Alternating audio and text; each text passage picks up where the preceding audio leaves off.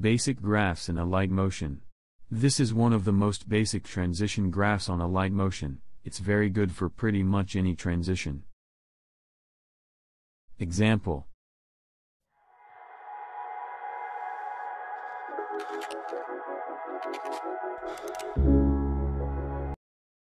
This graph is good for motion graphics and smooth transition.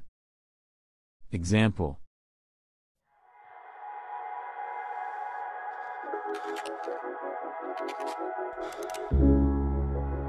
This graph is good for typography, motion graphics, 3D CAM and many more, this is one of the best graphs for smooth movement. Example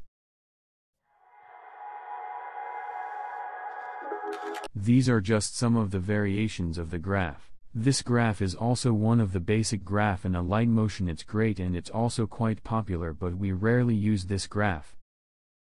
Example